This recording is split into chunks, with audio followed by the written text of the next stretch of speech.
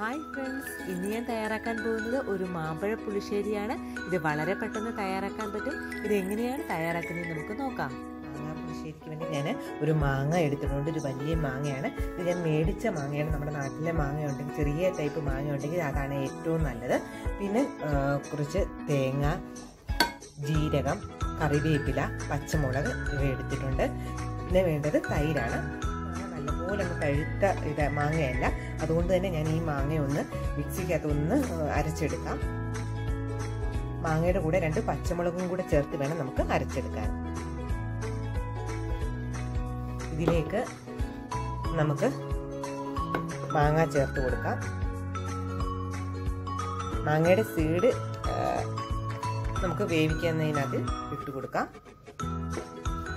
പിന്നെ ഇതിലേക്ക് നമുക്ക് എരിവിന് വേണ്ടി ഒരു പച്ചമുളക് അരച്ചെടുക്കാം. നമ്മൾ ഇനി തേങ്ങയുടെ കൂടെ പച്ചമുളക് അരയ്ക്കുന്നുണ്ട് പിന്നെ ഒരു പച്ചമുളക് കീറി ഇടുന്നുണ്ട് അതുകൊണ്ട് ഒരു പച്ചമുളക് ഞാൻ ഇതിന്റെ കൂടെ ഇട്ടൊന്ന് അരച്ചെടുക്കാൻ പോവുകയാണ്.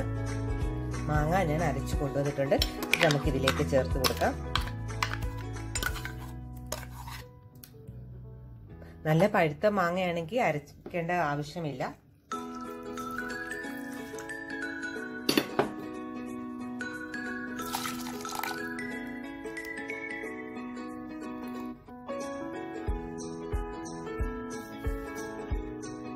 അല്പം വെള്ളവും ചേർത്ത് കൊടുത്തിട്ടുണ്ട്. ഇനി നമുക്ക് ഈ മാങ്ങയുടെ സീഡ്സും ഇതിനകത്തിലോട് ഇട്ട് നമുക്കൊന്ന് വേവിക്കാം. ഇതിലേക്ക് നമുക്കിനി അല്പം മഞ്ഞൾപ്പൊടി ചേർത്ത് കൊടുക്കാം.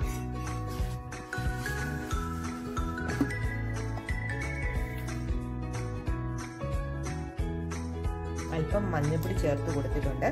മധുരം ഉള്ള മാങ്ങയല്ല എന്നുണ്ടെങ്കിൽ അതിനകത്തിലേക്ക് അല്പം ഷുഗർ ചൂടെ ചേർത്ത് കൊടുക്കാം.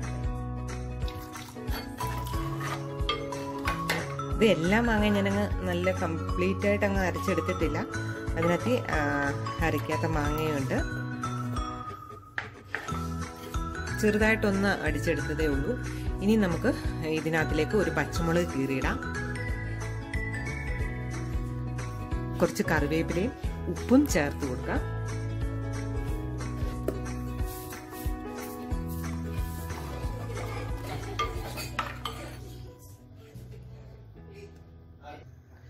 ഇതിനെ നമുക്ക് നല്ലപോലെ ഒന്ന് വേവിച്ചെടുക്കാം. ഇത് വേവുന്ന സമയം കൊണ്ട് നമുക്ക് തേങ്ങയും ജീരകവും പച്ചമുളകും ഒന്ന് നല്ലപോലെ അരച്ചെടുക്കാം.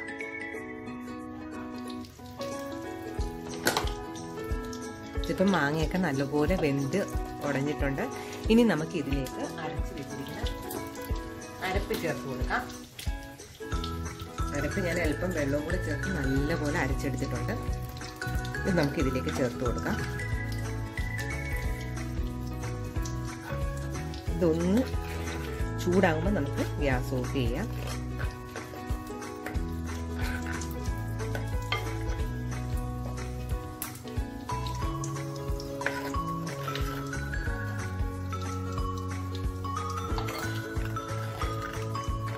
ചൂടായിട്ടുണ്ട് ഇനി നമുക്ക് ഗ്യാസ് ഓഫ് ചെയ്യാം. ഇത് തണുത്തതിന് ശേഷം ഇതിലേക്ക് നമുക്ക് മോര് നല്ലപോലെ ആറിയിട്ടുണ്ട് ഇനി നമുക്ക് ഇതിലേക്ക് തൈര് ചേർത്ത് കൊടുക്കാം. ഞാൻ ഒരു കപ്പ് തൈരാണ് ചേർക്കുന്നത്. എന്റെ തൈരിന് വലിയ പുളിയില്ലാത്ത തൈരാണ്. പുളിയുടെ അനുസരിച്ച് നിങ്ങൾ തൈര് ചേർത്ത് കൊടുക്കുക.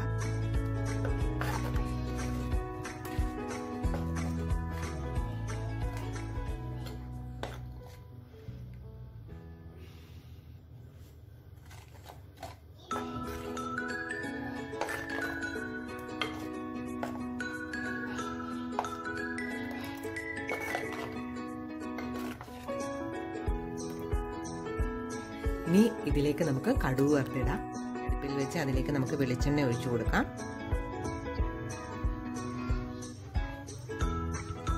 എണ്ണ ചൂടാകുമ്പോൾ അതിലേക്ക് നമുക്ക് അല്പം ഉലുവ ചേർത്ത് കൊടുക്കാം. ഇനി അതിലേക്ക് കടുക് ചേർത്ത് കൊടുക്കാം.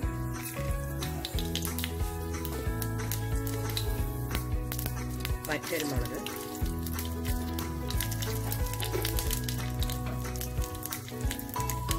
കറിവേപ്പില. ഇനി നമുക്ക് ഇത് കറിയിലേക്ക് ചേർത്ത് കൊടുക്കാം.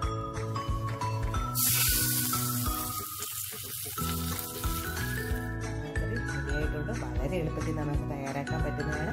എല്ലാവരും ഈ ഓണത്തിനൊന്ന് ട്രൈ ചെയ്ത് നോക്കുക. ഇഷ്ടമായെങ്കിൽ ലൈക്ക് ചെയ്യാനും ഷെയർ ചെയ്യാനും സബ്സ്ക്രൈബ് ചെയ്യാനും മറക്കരുത്. കൂടാതെ ബെൽ ബട്ടൺ കൂടെ ക്ലിക്ക് ചെയ്യുക. എന്നാലേ നിങ്ങൾക്ക് തുടർന്നുള്ള നോട്ടിഫിക്കേഷൻ മൂപ്പിക്കുകയുള്ളൂ